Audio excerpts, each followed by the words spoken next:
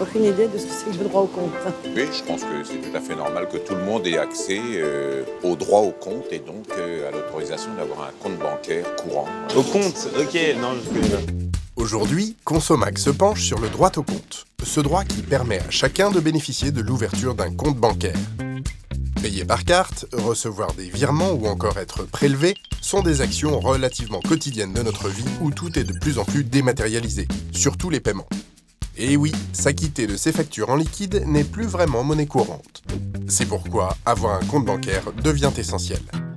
Et si, selon la Banque mondiale, l'exclusion bancaire touche environ 2 milliards d'adultes dans le monde, principalement dans les pays en développement, la France, elle, fait figure de bon élève avec un taux de bancarisation de 99%, soit l'un des plus élevés d'Europe.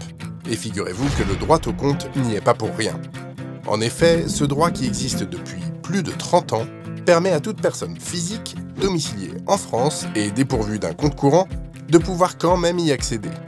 Concrètement, si toutes les banques vous refusent l'ouverture d'un compte parce que, par exemple, vous êtes fiché, eh bien vous pouvez faire valoir votre droit au compte de la manière suivante. En cas de refus, la banque doit vous informer de la possibilité de bénéficier du droit au compte et doit vous délivrer une attestation de refus. À partir de là, et même si vous êtes fiché, vous pouvez saisir la Banque de France qui désignera un établissement bancaire dans le délai d'un jour ouvré. Pour ce faire, vous devez vous munir de pièces indispensables telles que la copie de votre carte d'identité, le justificatif de domicile ou encore l'attestation de refus.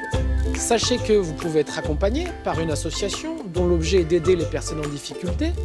Vous pouvez vous rendre sur le site de la Banque de France qui répertorie ces organismes. Sachez enfin que cette assistance est gratuite, sauf si vous souhaitez bénéficier d'un conseil juridique, auquel cas l'adhésion est obligatoire auprès de l'association.